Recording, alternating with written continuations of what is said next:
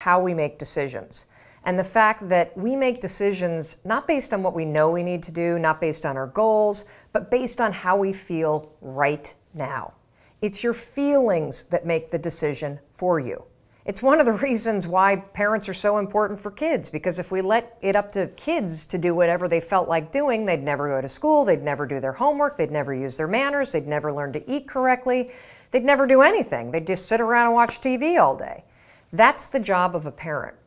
What most of us don't realize, though, and this is what I was alluding to in the TED Talk, is that when you become 18, when you move out of the house, when you're an adult, you have to parent yourself. Here's the rub you're never, ever, ever, ever going to feel like doing the things you need to do in order to have what you want.